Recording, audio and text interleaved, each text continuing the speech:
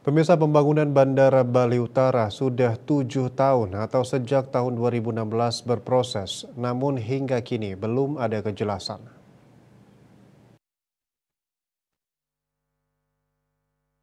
Ketua DPD RI AA Lanyala Mahmud Mataliti memfasilitasi rapat koordinasi terkait pembangunan Bandara Bali Utara di ruang rapat DPD RI Komplek Parlemen Senayan Jakarta.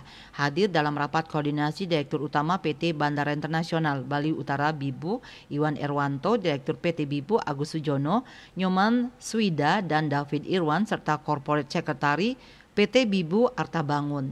Hadir juga para tokoh adat Bali, Raja Kelungkung, Ida Dalam Semara Putra, Anak Agung Murah Ugrasena, Penglingsir Puri Singaraja, dan Anak Agung Murah Kakarsana Penglingsir Puri Belah Batu Gianyar.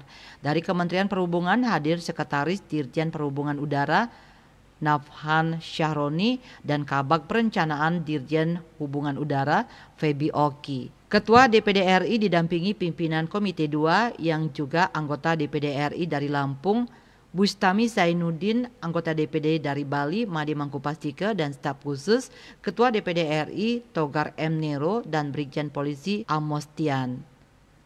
Lanyala menjelaskan pihaknya merupakan lembaga perwakilan rakyat yang mempunyai tugas utama mengagregasikan dan mengartikulasikan kepentingan daerah dalam kebijakan dan regulasi dalam tataran nasional. Direktur PT Bibu Iwan Erwanto mengharapkan pemerintah dalam hal ini Kementerian Perhubungan segera memutuskan penetapan lokasi bandara. Dia melanjutkan Bali membutuhkan bandara baru untuk melengkapi Bandara Ngurah Rai yang letaknya di selatan Pulau Bali. Satu hal lagi yang ditekankan Iwan, pihaknya sudah siap membangun dengan pendanaan dan segala kelengkapannya. Bahkan pihaknya yakin dalam tiga tahun bisa selesai.